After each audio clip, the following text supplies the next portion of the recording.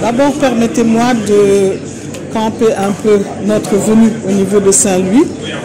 Euh, nous avons euh, décidé de faire des semaines euh, régionales dans les régions les plus appropriées en ce qui concerne les ressources minérales. Nous avons fait Kédougou, nous avons fait Thiès. Aujourd'hui, nous sommes à Saint-Louis. Saint-Louis qui a beaucoup de perspectives.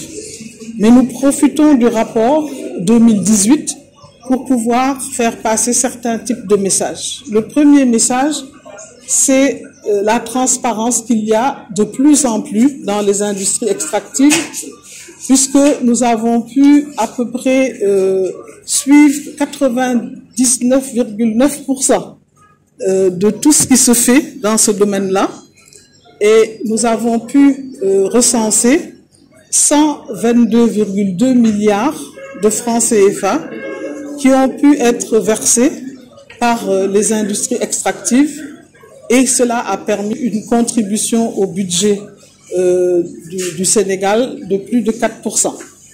Mais cela ne suffit pas. Nous considérons aujourd'hui qu'il y a beaucoup de perspectives, dont les perspectives dans la région de Saint-Louis. Vous savez que nous avons euh, cette exploration qui est satisfaisante et qui va aller vers une exploitation du pétrole et du gaz. le problème au niveau euh, minier est moins important, mais la région de, Saint-Louis a vraiment un avenir euh, radieux si on considère euh, ce, qui va se faire à partir de 2022 où il y aura les premiers éléments d'exploitation. Ce que nous avons remarqué aussi, en plus euh, de cela, je parle de tout le Sénégal, il y a eu à peu près 999 milliards de francs CFA qui ont pu être, euh, euh, disons, résorbés par tout ce qui est entreprise autour de l'extraction, c'est-à-dire les services qui ont pu être apportés. C'est dire donc qu'il y a là une possibilité vraiment pour le Sénégal de pouvoir euh, permettre euh, la mise en œuvre de ce que nous appelons le contenu local. Et le contenu local doit permettre aux localités où il y a des industries extractives de pouvoir permettre ce que nous disons même dans la constitution sénégalaise, qui est que les ressources reviennent au peuple, que ce soit une réalité. Notre rôle au niveau de l'ITIE, c'est la transparence, c'est de faire passer les informations, c'est de pouvoir, au niveau de toute la chaîne de valeur, dire comment les choses se passent, permettre un débat public fécond et aussi aux populations d'être informées et de pouvoir vraiment euh, pouvoir euh, vivre de ce que nous pourrons euh, exploiter dans notre pays. Nous avons eu l'honneur de recevoir aujourd'hui aussi avec nous le comité national mauritanien, puisque vous savez qu'il y a euh, un travail commun qui va se faire entre la Mauritanie et le Sénégal en matière de pétrole et de gaz.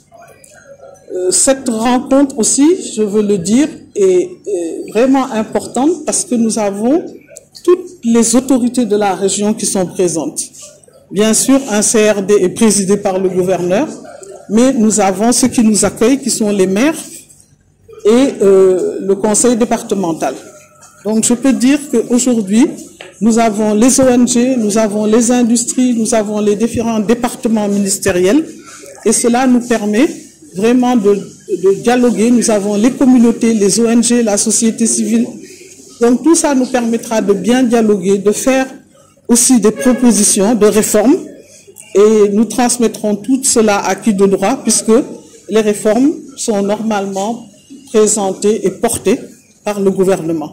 Mais tous les partis, toutes les parties prenantes sont là aujourd'hui et je voudrais rappeler aussi euh, vraiment le travail fécond qui se fait avec les trois groupes, que ce soit le gouvernement, que ce soit la société civile comme les entreprises.